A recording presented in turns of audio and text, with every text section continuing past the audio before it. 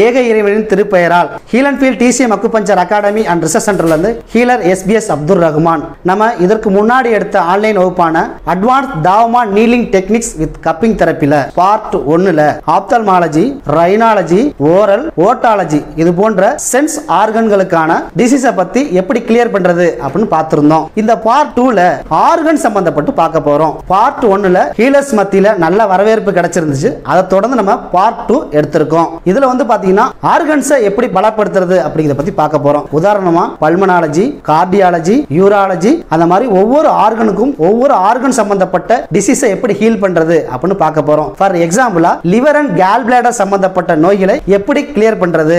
என்னென்ன மாதிரியான நீலிங் டெக்னிக்ஸை பயன்படுத்துறது? ரிஃப்ளெக்ஷன் ஏரியா எது? அதுல எப்படி ப்ராப்பரா பிளட் லெட்டிங் அண்ட் கப்பிங் தெரப்பியை பயன்படுத்தி டர்ட் அண்ட் டர்பிட் பிளட்டை எப்படி வெளியேற்றுறது அப்படிங்கிறத பிராக்டிக்கலா தெரிஞ்சுக்க போறோம். இதுல இன்னொரு மெத்தடையும் சேர்த்து பயன்படுத்த முடியும். என்னன்னு பாத்தீங்கன்னா முதல்ல சென்சாரங்களுக்கு நம்ம பார்த்திருந்தோம். உதாரணமா ஆப்தல்மாலஜி சம்பந்தப்பட்ட தொந்தரவுகளுக்கு நம்ம மூணு நாள் கொடுத்துட்டோம். அதோடைய ரூட்டான liver and GB or stomach and spleen அதுக்கு நீங்க ரெண்டாவது மூணு சிட்டிங் பயன்படுத்தலாம். அடுத்ததா அதுக்கும் ரூட்டான ரூட்டுக்கு ரூட்டான கிட்னிக்கு ஒரு மூணு சிட்டிங் கொடுக்கலாம். இந்த வகையில நீங்க ட்ரீட்மெண்ட் கொடுத்தீங்க அப்படின்னா நோய் பிரதிபலிக்கக்கூடிய இடம் நோய்க்கான ரூட்டு ரூட்டுக்கான ரூட்டு. ஒரு நோயானது எந்த லெவல்ல இருந்தாலும் முழுமையா அந்த நோயை சரி பண்ணலாம். லாவோமா advance needling techniques with cupping தெரப்பியை பயன்படுத்தி லிவர் அண்ட் கேல் பிளடர்ஸ் சார்ந்த தொந்தரவுகளுக்கு எப்படி சிகிச்சை அளிப்பது அப்படின்னு பார்க்கலாம். கேல் பிளடர் அண்ட் லிவர் சம்பந்தப்பட்ட டிசீஸ் என்னன்னு தெரிஞ்சுக்க போறோம். ஹெப்படைட்டிஸ் கல்லீரல் அலர்ஜி ஃபேட்டி லிவர் கல்லீரல்ல கொழுப்பு படிவு ஹெமட்டோமேகலி கல்லீரல் ஏற்படக்கூடிய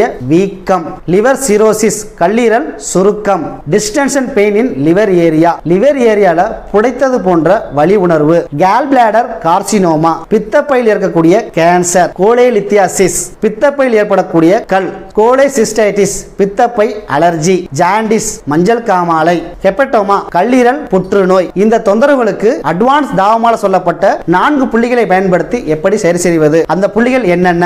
Eighty eight point zero seven. Upper three yellow. இந்த பாயிண்டை பயன்படுத்துவது மூலமாக liver heart gall bladder and kidney இந்த ஆர்கன்களை நல்ல முறையில் ஸ்ட்ரென்தன் பண்ண முடியும். Thirty three point one two hold three dose இந்த பாயிண்டை பயன்படுத்துவது மூலமாக லிவர் ஹார்ட் அண்ட் கிட்னியை நல்ல முறையில் ஸ்டிமுலேட் பண்ண முடியும். Eleven point zero two finger three yellow இந்த பாயிண்டை பயன்படுத்துவது மூலமாக லிவரை நல்ல முறையில் ஸ்ட்ரென்தன் பண்ண முடியும். Eighty eight point zero six தை ஸ்பிளீன் த்ரீ நீடில்ஸ் இந்த பாயிண்டை பயன்படுத்துவது மூலமாக ஸ்பிளீன் லிவர் அண்ட் கேல் பிளேடரை நல்ல முறையில் ஸ்ட்ரென்தன் பண்ண முடியும். இந்த நான்கு பாயிண்டையும் இன்சர்ட் பண்றதுக்கு முன்னாடி லிவர் அண்ட் கேல் பிளேடருக்கான ரியாக்ஷன் ஏரியாவை கண்டுபிடிச்சு அந்த இடத்துல கப்பிங் தெரப்பியை பயன்படுத்தி டர்ட் அண்ட் டர்பிட் பிளட்டை எப்படி எடுக்கிறது அப்படிங்கிறத ப்ராக்டிக்கலாக இப்போ தெரிஞ்சுக்கலாம். லிவர் அண்ட் ஜிபிக்கான ரிஃப்ளெக்ஷன் ஏரியா எங்கே இருக்குன்னு பார்க்கலாம்.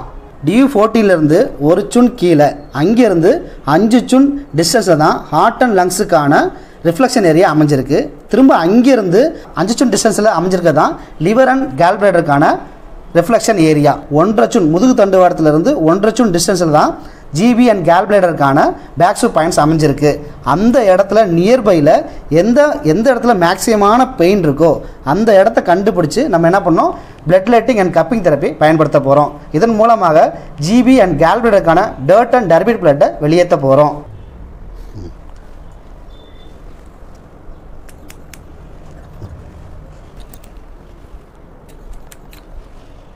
சயாட்டிக்கா தொந்தரவுக்கான ரிஃப்ளெக்ஷன் ஏரியா பார்க்க போகிறோம் ரிப்போனுக்கும் ஹிப்போனுக்கும் இடையில் அப்படி மூணு விரல் வச்சுட்டோம். அதன் முன்னோக்கி வரும்பொழுது முதுகு தண்டு வரத்தில் சந்திக்கக்கூடிய நடுவிரல் முதுகு தண்டு வரத்தை சந்திக்கக்கூடிய போது தான் டியூ ஃபோர் அங்கேருந்து ஒன்றரை சுன் கீழே நேர் கீழே ஆரம்பித்து அஞ்சு சுன் நேர் கீழே வரைக்கும் தான் சயாட்டிக்கா பெயினுக்கான ரிஃப்ளெக்ஷன் ஏரியா அமைஞ்சிருக்கு.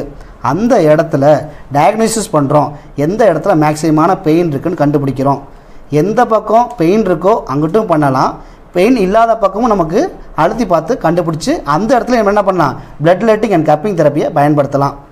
இப்போ அவருக்கு இந்த இடத்துல மேக்சிமமான பெயின் இருக்குது அதே மாதிரி இந்த பக்கம் இந்த இடத்துல பெயின் அதிகமாக இருக்குது நம்ம டயக்னோஸ் பண்ணி கண்டுபிடிச்சிட்டோம். இப்போ அந்த இடத்துல லேர்ன் செட் நீடில் அல்லது வந்து பார்த்திங்கன்னா செவன் ஸ்டார் டேப் வச்சு ப்ரிக் பண்ண போகிறோம்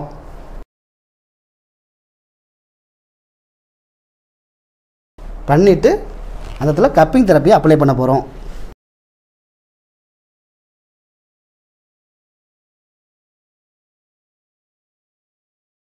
தேர்ட்டி த்ரீ பாயிண்ட் ஒன் டூவோட லொக்கேஷன் பார்க்கலாம். எஸ்ஐ ஃபைவ்லேருந்து மூன்று சுண்கள் நேர் கீழே அதே மாதிரி ஆறு சுண்கள் நேர் கீழே எஸ்ஐ எயிட்லேருந்து ஒன்றரை சுண் நேர் மேலே.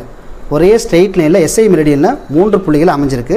இதை வந்து பார்த்திங்கன்னா பிரின்சிபல் நீடில் ஃபஸ்ட்டு பண்ணுறோம் அடுத்தது வந்து பார்த்திங்க அப்படின்னா auxiliary needle dispel pathogen needle இது வந்து பார்த்திங்கன்னா சேம் டெப்த்தில் பாயிண்ட் ஃபைவ் சுன் டெப்த்தில் வந்து சேம் டெப்த்தில் பயன்படுத்தியிருக்கோம். லெவன் பாயிண்ட் ஜீரோ டூவோட லொக்கேஷன் பார்க்கலாம். கட்டவரில் ரெண்டாவது பார்ட்டில் டி லைனில் மூணு சமபாகம் பிரித்தோம் அப்படின்னா அதான் வந்து லெவன் பாயிண்ட் ஜீரோ டூ இதில் வந்து பார்த்திங்கன்னா சுஜோக் நீல் டெப்த்தாக பயன்படுத்தலாம்.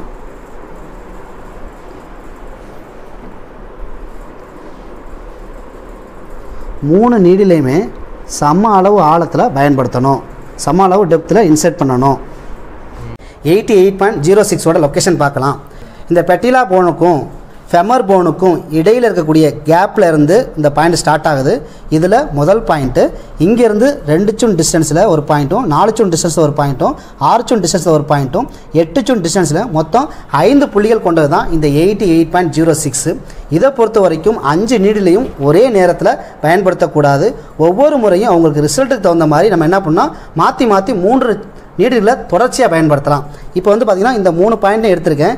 இதில் வந்து முதல் பாயிண்ட்டை பிரின்சிபல் பாயிண்ட்டை இன்சர்ட் பண்ணுறேன் அடுத்ததாக வந்து பார்த்திங்க அப்படின்னா ஆக்சிலரி பாயிண்ட்டில் இன்சர்ட் பண்ணுறேன் கடைசியாக வந்து பார்த்திங்கன்னா டிஸ்பல் பேத்தஜன் பாயிண்ட்டில் இன்சர்ட் பண்ணுறேன் இந்த மெத்தடில் நீங்கள் ட்ரீட்மெண்ட் பார்க்கணும். At the same time same டெப்த்தில் இந்த ட்ரீட்மெண்ட் நான் கொடுத்துருக்கேன். அடுத்த பாயிண்ட்டாக எயிட்டி எயிட் பாயிண்ட் ஜீரோ செவனை பார்க்கலாம். இது உட்பக்க தொடையில் ஆரம்பித்து தொடை எலும்பில் ஆரம்பித்து லிவர் மெரிடியன் பயணிக்கக்கூடிய பாதையில் தொடையை சரிபாகமாக பிரிக்கக்கூடிய பாத்துவேல இது அமைஞ்சிருக்கு. தொடை எலும்போட தொடக்கத்தில் இருந்து மூன்று சுண்கள் நேர் மேலே ஒரு பாயிண்ட்டும் ஆறு சுண்கள் மேலே ஒரு பாயிண்ட்டும் ஒன்பது சுண்கள் நேர் மேலே ஒரு பாயிண்ட்டும் அமைஞ்சிருக்கு. இதில் பிரின்சிபல் பாயிண்டில் ஃபஸ்ட்டு இன்சர்ட் பண்ணுறோம் அடுத்ததாக வந்து பார்த்திங்கன்னா ஆக்சிலரி பாயிண்ட்டில் இன்சர்ட் பண்ணுறோம் கடைசியாக வந்து பார்த்தீங்க அப்படின்னா டிஸ்பல் பேத்தஜன் பாயிண்ட்டில் மூணாவது பாயிண்ட்டை நம்ம இன்சர்ட் பண்ணுறோம் இதை பொறுத்த வரைக்கும் நம்ம சம அளவு டெப்த்தில் இன்சர்ட் பண்ணியிருக்கோம். லிவர் அண்ட் கேல்பிளேடருக்கான நான்கு புள்ளிகளை எப்படி ப்ராக்டிக்கலாக அப்ளை பண்ணுறது எவ்வளோ டெப்த்தில் அப்ளை பண்ணுறது என்ன நீலிங் டெக்னிக்ஸை பயன்படுத்துறது அப்படிங்கிறத தெரிஞ்சுக்க போகிறோம் இந்த வகுப்பு அக்குப்பஞ்சர் சிகிச்சையாளர்களின் நலன் கருதி எளிமையான கட்டணத்தில் எடுக்கப்பட இருக்கு. அக்குப்பஞ்சர் சிகிச்சையாளர்கள் இந்த வகுப்பை பயன்படுத்தி தங்கள் திறனை மேம்படுத்திக் கொள்ள ஹீல் அண்ட் ஃபீல் சார்பாக வாழ்த்துகிறோம்.